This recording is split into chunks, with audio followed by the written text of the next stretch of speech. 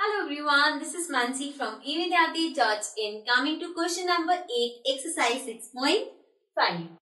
The diagonals of a rhombus measure 16 cm and 30 cm. Find its perimeter. अब आपको दे रखा है एक rhombus. So सबसे पहले हम let's draw a rhombus. Let's suppose this is a rhombus A B C D. ठीक है अब इस rhombus के आपको diagonals given है। This one and this one.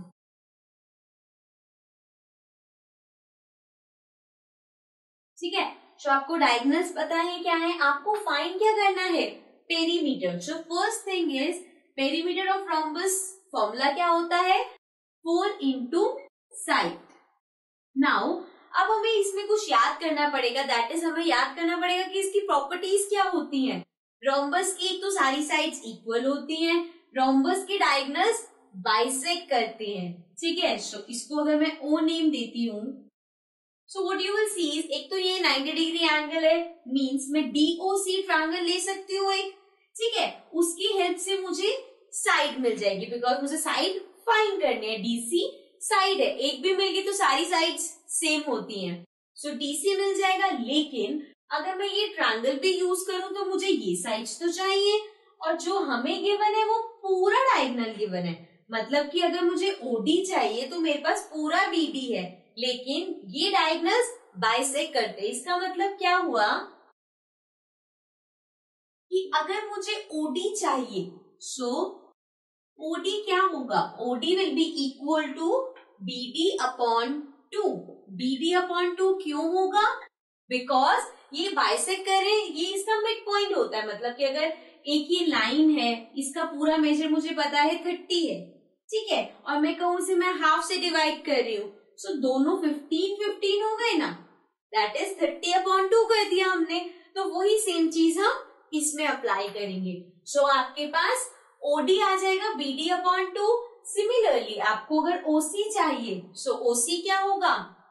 OC will be equal to A C upon two ठीक है, अब ये हो जाएगा इसका हाफ़ सो नाउ अब देखते हैं बीडी और एसी हमें दो डायगनल्स गिवन है, एक सिक्सटीन और एक thirty let suppose BD thirty है सो ये हो गया थर्टी अपॉन टू और एसी अगर सिक्सटीन है तो वो हो जाएगा sixteen upon two so this will be fifteen and sixteen upon two is eight so अब आपके पास ये लेंथ आ गई और ये लेंथ आ गई। ठीक है? दो लेंथ आपके पास है, एक आपको फाइंड करनी है। अगेन ये राइट एंगल ट्रायंगल है। अगर ये इसका राइट एंगल है तो हाइपोटेन्यूस कौन सी होगी? इसकी ऑपोजिट साइड मतलब डीसी हाइपोटेन्यूस है। सो इन ट्रायंगल डीओ सी सो हम ट्रायंगल डीओ सी ले रहे हैं using Pythagoras theorem Pythagoras theorem की हेल्प से वी कैन राइट एट कि BC का स्क्वायर इक्वल होगा OD का स्क्वायर प्लस OC का स्क्वायर ठीक है? DC का स्क्वायर इक्वल होगा OD का स्क्वायर प्लस OC का स्क्वायर अब OD और OC अभी हमने फाइंड किया है। OD है 15 स्क्वायर प्लस OC हमारे पास 8 है।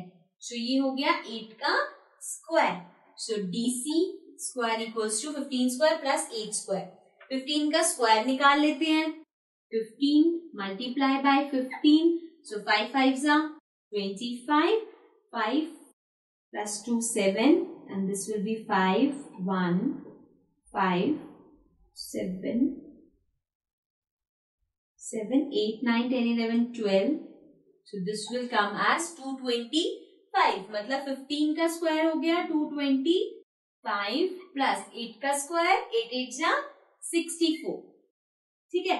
अब इसको ऐड कर लेते हैं two twenty five plus sixty four so ये हो जाएगा five plus four nine and this will be six plus two is eight and this will be two so ये हमारे पास आ गया two eighty nine so means D C square equals to two eighty nine अब हमें फिर से यही देखना कि टू एटी नाइन किसका स्क्वायर है? टू एटी नाइन सेवनटीन का स्क्वायर होता है ठीक है?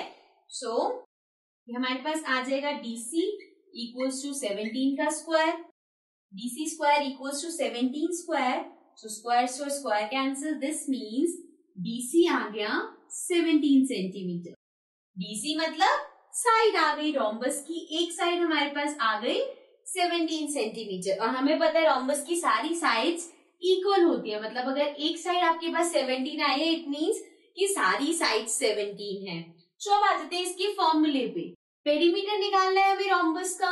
सो पेरीमीटर होता है four into side so four multiply by side side क्या फाइंड करी है हमने? फोर्टी सो so, हम फोर को अगर फोर्टीन से मल्टीप्लाई कर देंगे sorry it is seventeen so mean seventeen को अगर हम फोर से मल्टीप्लाई कर देंगे तो हमारा आंसर आ जाएगा.